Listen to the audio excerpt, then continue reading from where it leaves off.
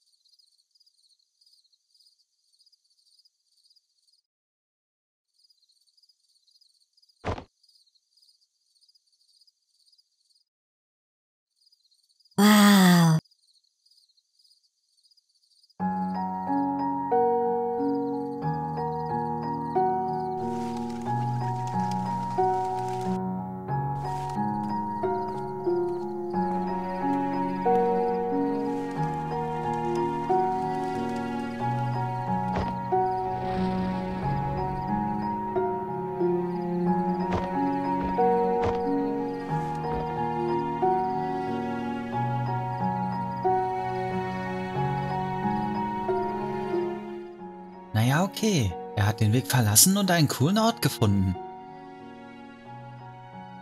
Aber seien wir ehrlich, er hätte ebenso gut von einem Rudel Tiger angefallen werden können.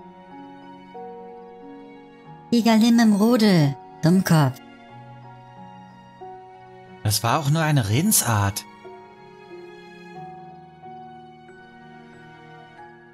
Weißt du, als ich noch klein war, hat mich mein Opa jedes Jahr zum Sternegucken mitgenommen. Ja? Es gab einen Hügel außerhalb der Stadt, wo wir immer standen.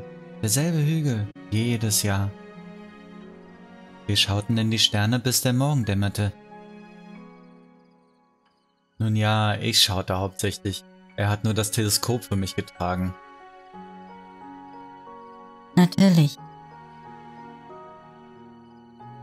Nun hätte Mom mir allerdings nie erlaubt, die ganze Nacht wach zu bleiben.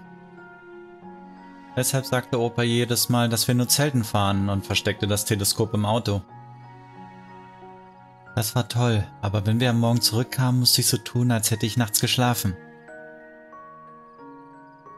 Und das ist, kurz gefasst, die Geschichte, wie ich in die Koffeinsucht abgedriftet bin.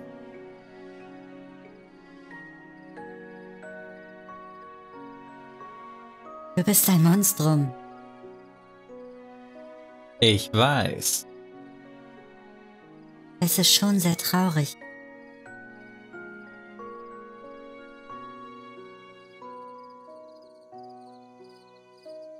All diese schönen Erinnerungen verloren und niemals wiedergefunden.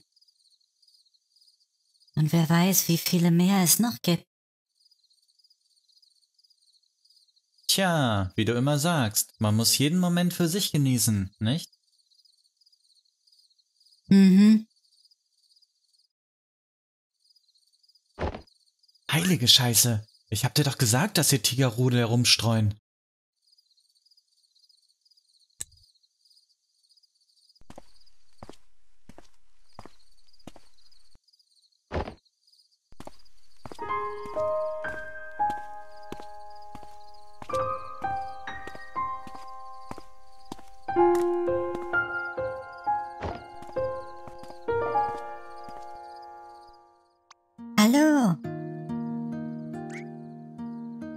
Warte, bleib hier. Ich bin Johnny. Und wie heißt du?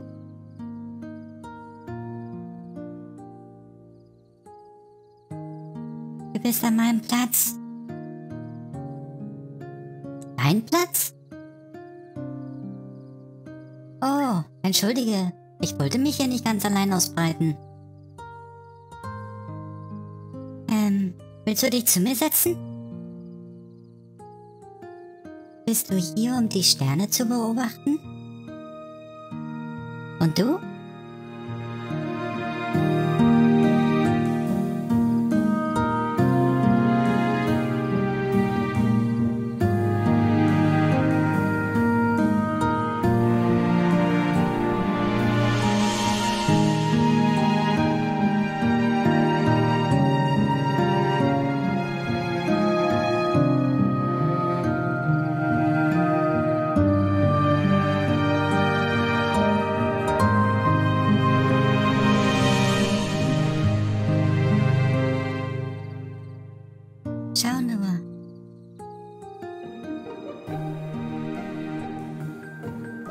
Wusstest du, dass es so viele Lichter am Himmel gibt? Ja. Oh. Äh, ich wusste es auch. Das ist also dein Platz, ja? Nur während des Jahrmarkts. Kein Fan von Menschenmengen? Bin ich auch nicht. Weißt du, du hast mir immer noch nicht deinen Namen gesagt. Ich sag ihn dir auch nicht. In der Schule machen sich alle darüber lustig. Wieso? Sie sagen, dass sie aufs Klo müssen, wenn sie an ihn denken. Äh, okay, dann nicht. Tja, kann auch nicht schlimmer als schon sein. Ich meine, überall auf der Welt heißt fast jeder John. Auch in Indien? Würde mich nicht wundern. Was ist verkehrt daran? Hm? Was ist verkehrt daran, einen Namen zu haben, den jeder hat? Hm, das ist langweilig, schätze ich. Ich meine, wenn alle so heißen, wo ist da der Sinn? Ich hätte nichts dagegen. Ausnahmsweise mal den gleichen Namen zu haben, den alle anderen auch haben. Das ist wie mit diesen Lichtern am Himmel. Von hier unten sehen sie alle gleich aus, aber das macht den einzelnen Stern kein bisschen weniger schön. Ja, vielleicht. Die ganzen Sterne da oben, was glaubst du, sind sie? Mein Vater sagt, sie sind riesige brennende Kugeln aus Gas. Ach, das denkt er sich doch nur aus. Warum sollte er mich anlügen? Weil, naja, das machen Erwachsene nun mal. Sie denken sich Sachen aus. Den Weihnachtsmann, den Osterhasen, Kängurus, sowas halt.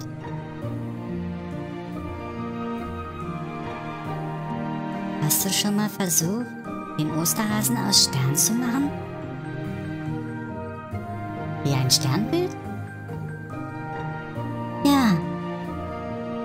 Hm, andere Sachen schon, aber noch nie ein Hasen. Möchtest du einen machen? Machen wir das beste Sternbild aller Zeiten. Mal sehen, wer zuerst eins hat.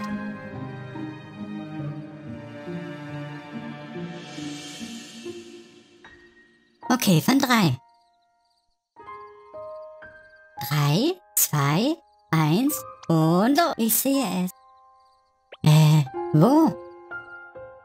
Am Himmel. Ähm, wo genau am Himmel? Großen Zusammenhängen.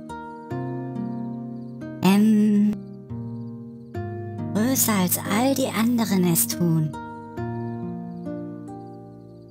Ich verstehe nicht. Moment mal. Moment mal. Ich sehe es. Sag mir, was du siehst. Da drüben, stimmt's? Da sind die zwei Löffel und der Kopf. Und weiter? Und da, da sind die beiden Füße. Ja, was noch? Und, und der Mond. Der Mond ist ein großer runder Bauch.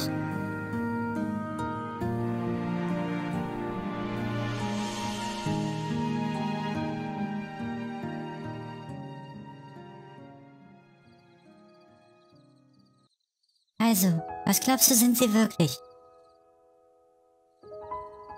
Die Sterne, meine ich. Ich. Ich habe es noch nie jemandem erzählt, aber ich habe immer gedacht, dass sie Leuchttürme sind. Milliarden von Leuchttürmen, die festsitzen am anderen Ende des Himmels. Muss ganz schön was los sein da oben. Ist aber nicht so. Sie können all die anderen Leuchttürme da draußen sehen und sie wollen mit ihnen reden. Aber das können sie nicht, denn sie sind alle viel zu weit voneinander entfernt, um zu hören, was die anderen sagen. Sie können nichts tun, außer aus der Ferne ihr Licht zu senden. Also tun sie das. Sie senden ihr Licht zu den anderen Leuchttürmen und zu mir. Warum zu dir? Weil ich eines Tages mit einem von ihnen Freundschaft schließen werde. Eine Tasche. Was ist da drin? Preis, den ich bei Klopp dem Maulwurf gewonnen habe. Hast du das schon mal gespielt? Ich habe es versucht, aber ich bin zu ungeschickt. Was hast du gekriegt? Es ist ein Ding. Ich kann dir wirklich nicht sagen, was das ist.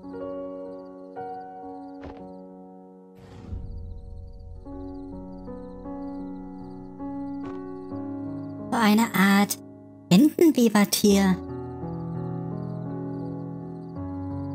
Darf ich mal sehen? Es sieht so seltsam aus. Ich wünschte, ich könnte auch so eins gewinnen. Johnny! Mist, Mom ruft mich.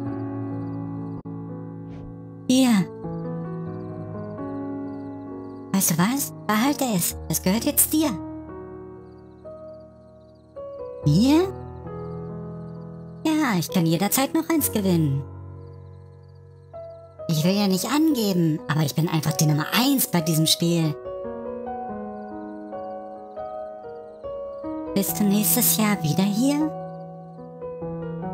Yep, du auch? Ja. Selber Ort, selbe Zeit?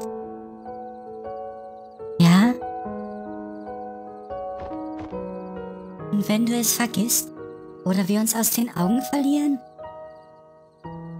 Dann treffen wir uns eben auf dem Mond wieder, Dummerchen. Genau auf dem Bauch des Hasens. Johnny! Komme! Oh, mein Hackisack ist noch in der Tasche.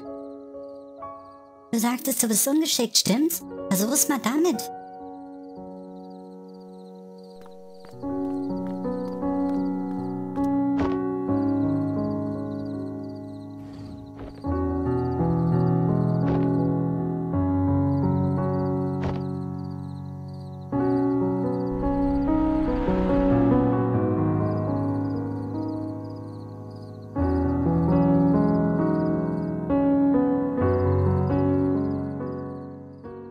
Sie sich jemals aus den Augen verlieren?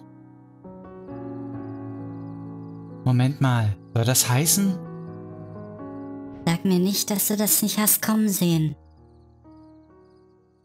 Und ich hatte schon geglaubt, das hier würde eine inspirierende Kindheitstraumgeschichte werden. Ich hätte wissen sollen, dass irgendein Mädchen auftaucht und einen Schmachfetzen daraus macht. Ich glaube, wir wissen jetzt, was wir tun müssen, um ihn zum Mond zu bringen.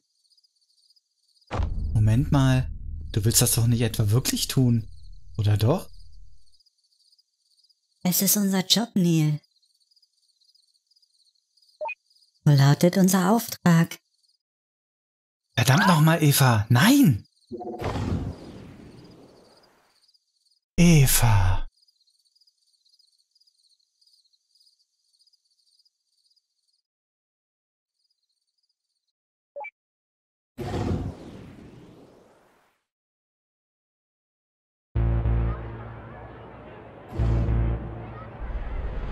Ich weiß, dass du hier irgendwo bist.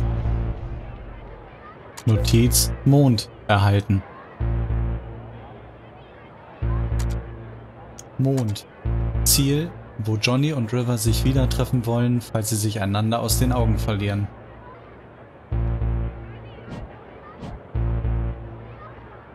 Alles deine Schuld.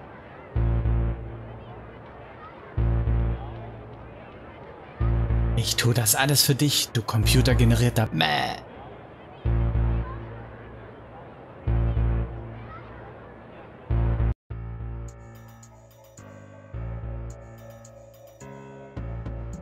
Umdrehen. Neil, Ich weiß, was du vorhast. ich weiß, dass du das weißt. Ach ja? Nun, ich weiß, dass du weißt, dass ich wei... Hör mal, unser Job ist, ihn zum Mond zu bringen. Und das wird nur dann passieren, wenn Johnny motiviert ist, dieses Ziel zu verfolgen. Aber wenn wir dafür River entfernen müssen, was soll die Sache dann überhaupt noch? Er will überhaupt nur deshalb zum Mond, weil sie gestorben ist. Ich weiß, aber wir sind gesetzlich dazu verpflichtet, den Vertrag in diesem spezifischen... Auf den Vertrag. Ich habe diesen Job nicht angenommen, um ihm die Lebensfreude zu nehmen, Eva. Ich weiß ja nicht, wie du das siehst, aber ich mache das hier, damit die alten Knacker mit einem Lächeln auf dem Gesicht sterben können. Ich doch auch. Und ich mag meinen Job. Aber wenn wir gegen unsere gesetzlichen Pflichten verstoßen, wird man uns vor Gericht bringen. Das werden wir anfechten. Wir wissen, dass Johnny glücklicher wird, wenn er nicht zum Mond fliegt. Es gibt viele alternative Lebenstangenten, in denen Johnny glücklicher wäre, Neil. Wir sind nicht hier, um Gott zu spielen. Es ist unser Job, ihm zu geben, was er bestellt hat. Zufällig wissen wir aber besser, was er will. Besser als er selbst. Versteh doch. Ich riskiere River doch nur deswegen, weil ich an sie glaube und Was soll das heißen, du riskierst sie? Du entfernst sie. Außerdem werde ich es wieder gut machen. Wieder gut machen? Wie denn? Uns läuft die Zeit davon. Vertrau mir einfach. Sagt die Frau, die mich von diesem Leuchtturm geschubst hat.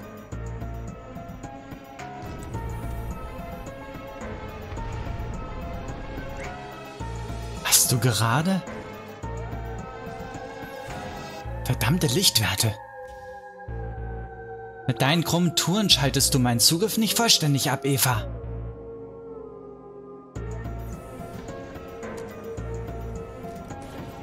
Versteckte Fallen? Wirklich, Eva? Ich versuche nur Zeit zu gewinnen. Hm, danke, dass du Bescheid sagst.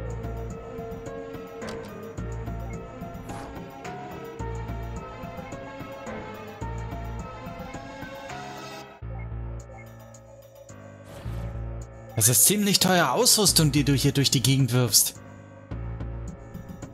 Ich meine es ernst. Bleib einfach, wo du bist und warte, bis ich fertig bin. Ach, du kannst mich mal gern haben.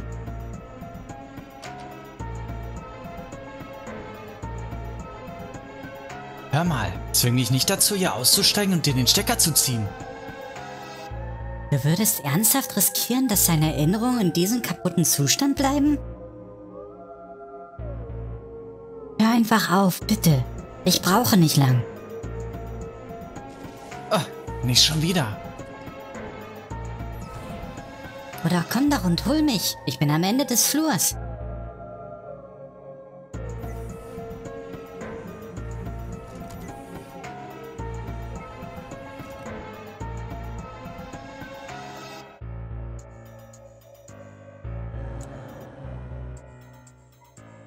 Das meinst du doch nicht wirklich. Findest du das witzig, Eva? Großer Gott, das sind nicht nur einfache Zombie-Evas. Das sind Zombie-Was. Keinen Schritt näher. Ich bin bewaffnet.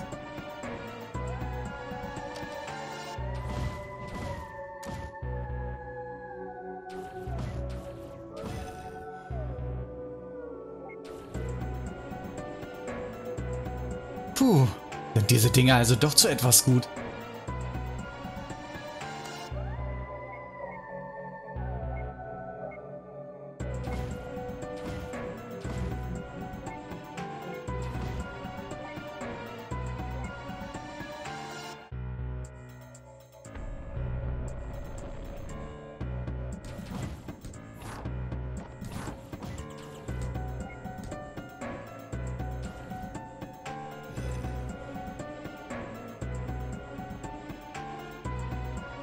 Das ist alles nur eine Schleife.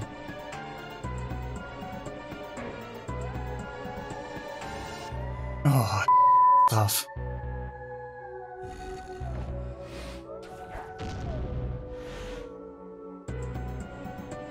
Was zum...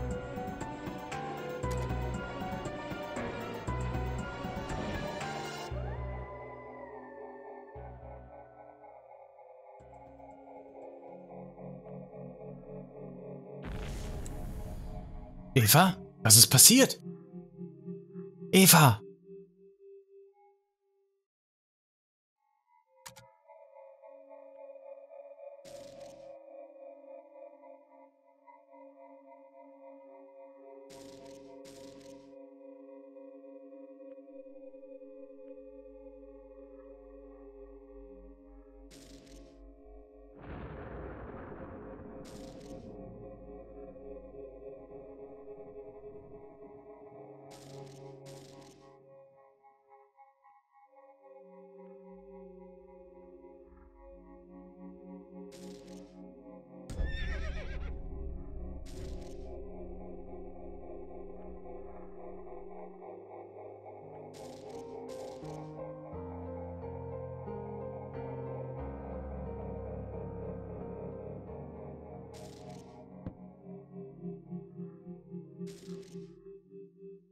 Hallo.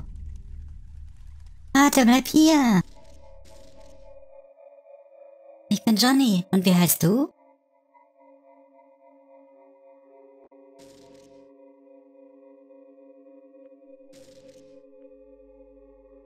Hör mal, das ist lange her. Kein Datum, keine Uhrzeit, Johnny. Das ganze System versinkt im Chaos.